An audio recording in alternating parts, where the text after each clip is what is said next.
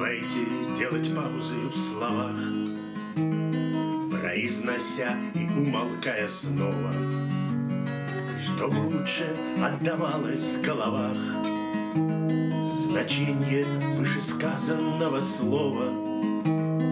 Давайте делать паузы в словах, Давайте делать паузы в пути, Смотреть вокруг внимательно и строго, Чтобы случайно дважды не пройти Одной и той неверною дорогой.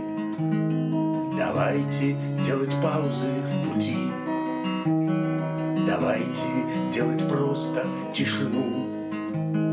Мы слишком любим собственные речи, И из-за них не слышно никому Своих друзей на самой близкой встрече.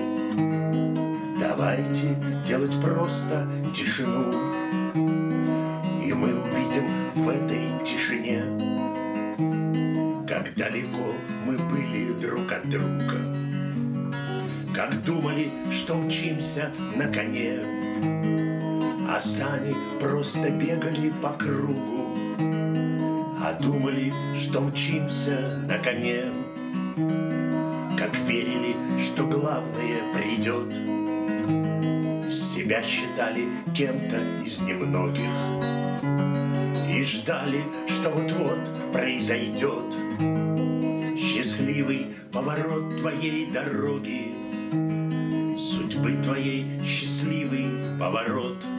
Но век уже как будто на исходе И скоро без сомнения пройдет а с нами ничего не происходит. И вряд ли что-нибудь произойдет.